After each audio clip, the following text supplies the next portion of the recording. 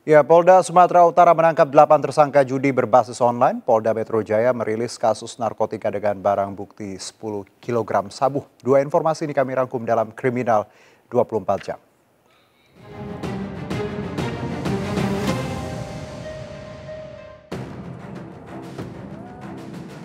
Polda Sumatera Utara menangkap 8 tersangka judi berbasis online jaringan internasional dari sejumlah lokasi di wilayah Sumatera Utara. Per bulannya para tersangka mampu meraup keuntungan 300 hingga 400 juta rupiah. Saat ini polisi masih mengembangkan kasus ini guna mengejar tersangka lainnya. Badan Narkotika Nasional kembali memusnahkan lebih dari 200 kg narkotika menggunakan tiga alat insinerator. Barang bukti yang dimusnahkan ini merupakan hasil tangkapan empat kasus berbeda sejak November 2018 hingga Januari 2019.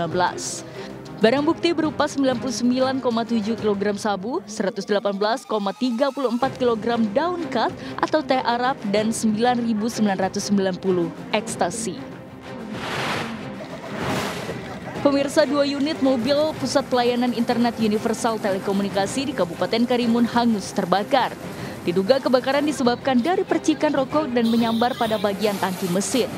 Beruntung petugas pemadam kebakaran yang tiba di lokasi dengan sigap memadamkan kobaran api.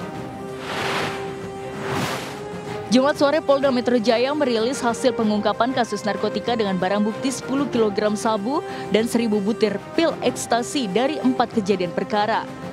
Dari kasus tersebut, lima tersangka berhasil diamankan. Selain sabu dan pil ekstasi, beberapa barang bukti lain juga berhasil diamankan seperti telepon genggam, timbangan, serta alat hisap sabu.